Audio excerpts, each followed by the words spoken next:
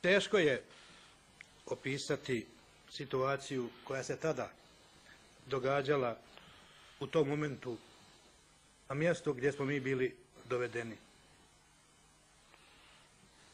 Stva, stvorena je, odnosno bio je opći metež, opći haos, opće zapomaganje, pucnjava, plač i liskak.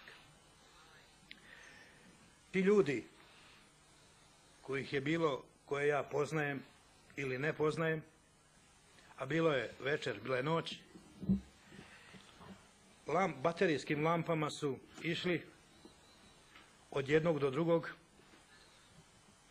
izdvajali su ljude, one koji su oni htjeli, odvodili ih tamo gdje su oni htjeli.